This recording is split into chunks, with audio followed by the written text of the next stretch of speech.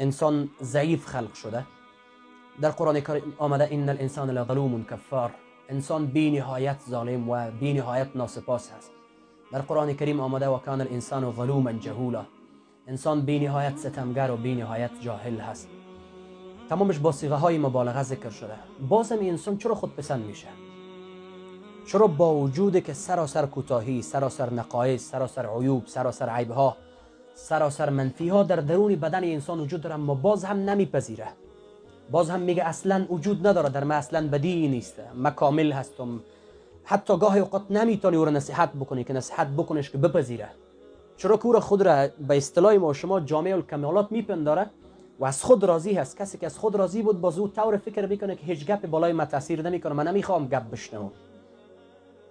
این هم در بخش کسایی که در علم قرار سطح علمی بلند دارن یا سطح علمی پایین دارن. تنها مربوط به علما نمیشه مربوط دانشمندا و مربوط به کسایی که درس می‌خوان مربوط اونها نمیشه.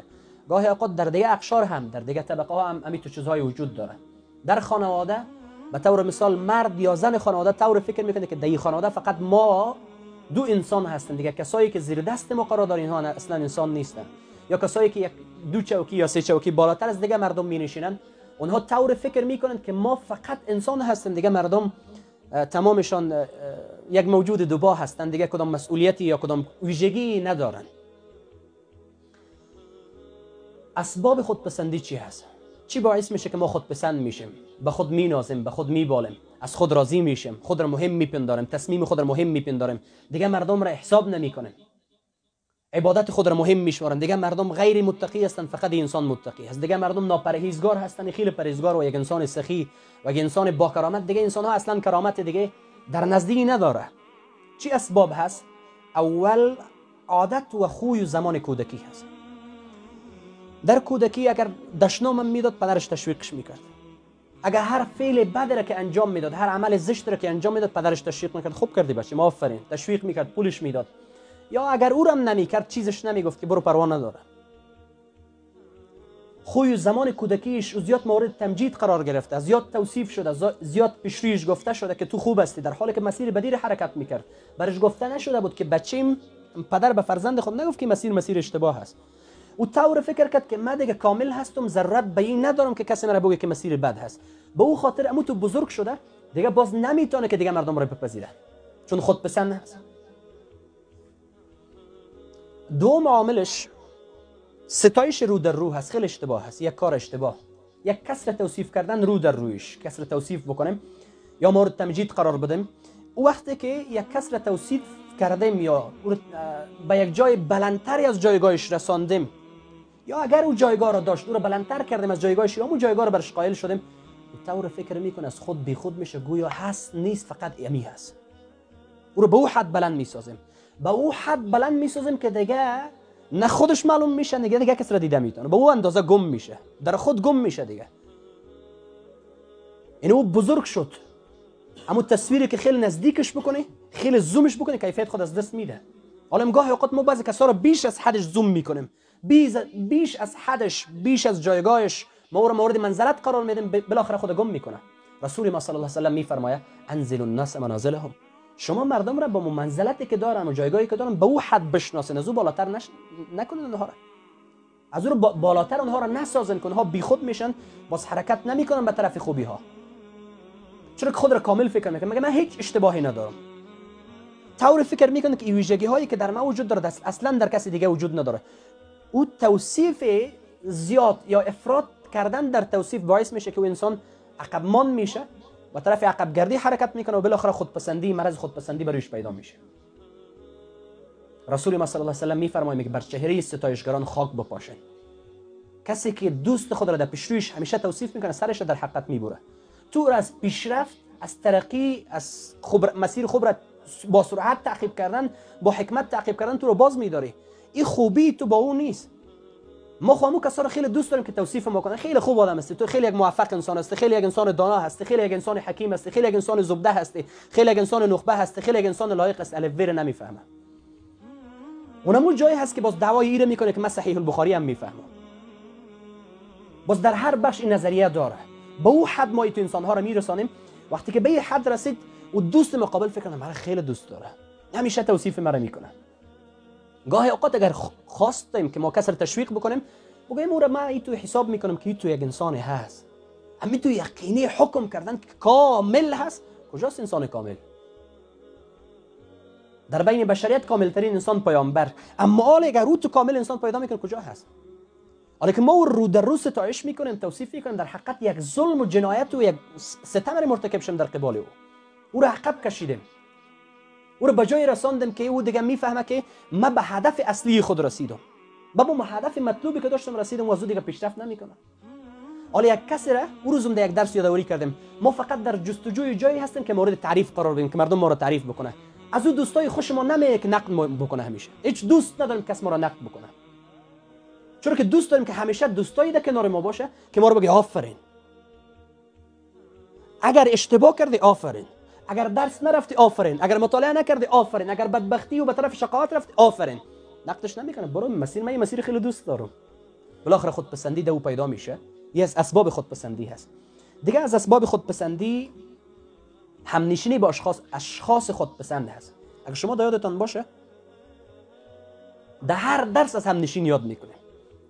چون کتابایی که یا اما آسیب شناسی دنداری و دعوتگری اگر شما بخوانین یا حتما مطالعه کردنش آسیب شناسی دنداری و دعوتگری از سبب هر چیزی یا عمل زشت حتما یک همنشین در پهلوش ذکر کرده. همنشین.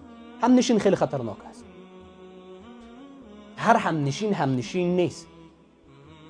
بعضیایشان منحرف هستند. از اونها جدا شوید اونها شما رو خود پسند می‌سازه.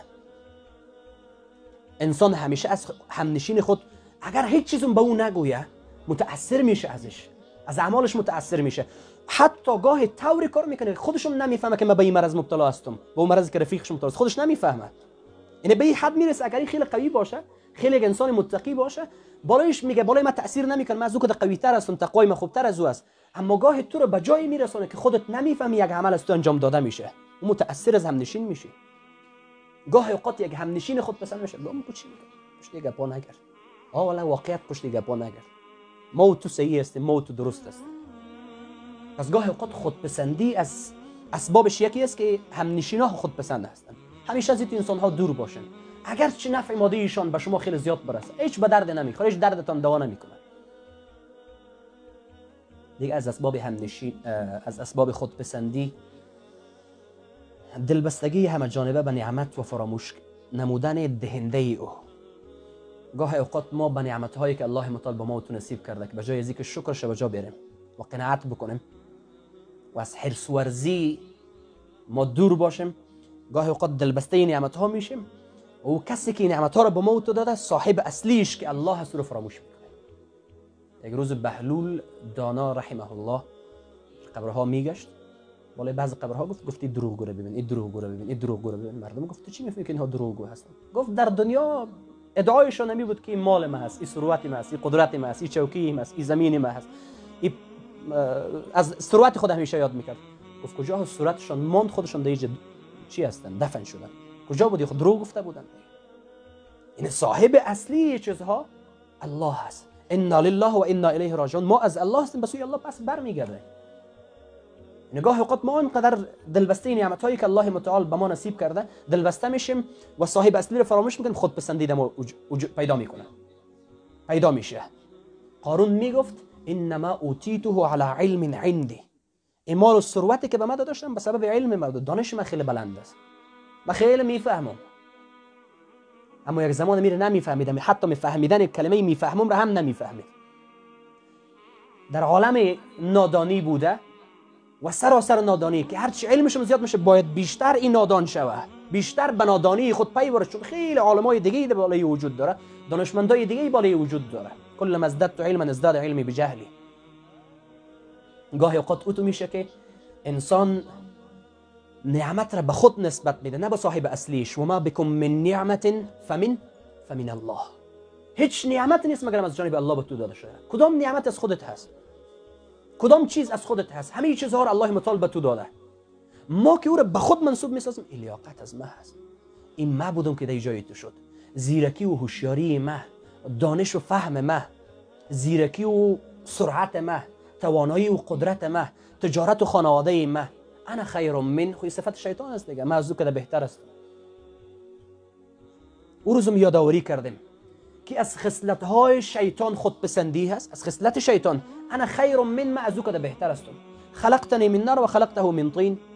شیطان میگه ما از آتش خلق شدیم و او از تین از خاک خلق شده. ولی خصوصیت پیامبرا چی هست؟ کار پیامبرانه چی هست؟ او میگه هارون را با ما روان بکن. موسی علیه السلام میگه هو افصح منی. از ما کده با فصاحت تر هست. ما یه گپ را هیچ گاه نمیگیم. می‌فهمیم که فلان شخص از کده تجارتش قوی تر هست. فلان شخص علمیتش از ما کده بالاتر هست. فلان شخص تقویش از ما کده قوی تر هست. ما به این اعتراف کرده نمی‌تونیم چون امو خصوصیت و خصلت خود پسندیده موجود داره. نمی‌تونیم یک کسی را توصیف بکنیم قدر شناسی بکنیم قدردانی از یک کسی بکنیم جایگاه یک کسی را بشناسیم. پنجم اسباب خودپسندی صدرنشینی و مسئولیت پذیری زود هنگام هست. خیلی مسئولیت دوست داره اما در انجامش در صف اخیر قرار داره چون اون چی می‌کنه؟ میگه من لیاقت از دارم. حالا که نداره لیاقتش را. اون نمی‌فهمه این مسئله را. درک نمی‌تونه این جای را. وقتی که مسئولیت زود هنگام را به عهده گرفت باز در مسئولیت پذیری زود هنگام انسان دیده نمیشه. در مسئولیت گرفتن در صف اول می باشه در مسئولیت پذیری و احساس مسئولیت و انجام مسئولیت در آخرین صف قرار داره. حتی گاه قدم آخرین صف هم نمی باشه. این از اسباب خود پسندی است که ما خود را از جایگاه خود بالاتر می سازیم از جایگاه خود بالاتر برای مردم برای مردم یعنی تلقین می‌کنیم برای مردم بیان می‌کنیم طور فکر می‌کنه که من استعدادش دارم. حالا بعضی کسا تقاضای یک جایگاه یک چوکی رو می‌کنه که من باید دی چوکی باشم. خیلی چیزا در دنیا وجود داره در دنیا وجود داره جریان داره. ما با جایگاه و لیاقت جایی را دارم. در حالی که خواستن مسئولیت اسلام اجازه نمیده کسی مسئولیت بخواه. ابو ذر رسول الله امر کرد که ابو ذر یک مسئولیت رو خواست. رسول الله گفت امرنی مرا یک جای مأمور کو یک جای امر مقرر بک که من امر شوم کار مسئولیت رو انجام بدم. گفت متوجه باش ابو ذر. انها امانه ای امانت هست. اگر انجامش نده نهایتش خزلان و ندامت هست. نهایتش رسوایی و پشیمانی هست.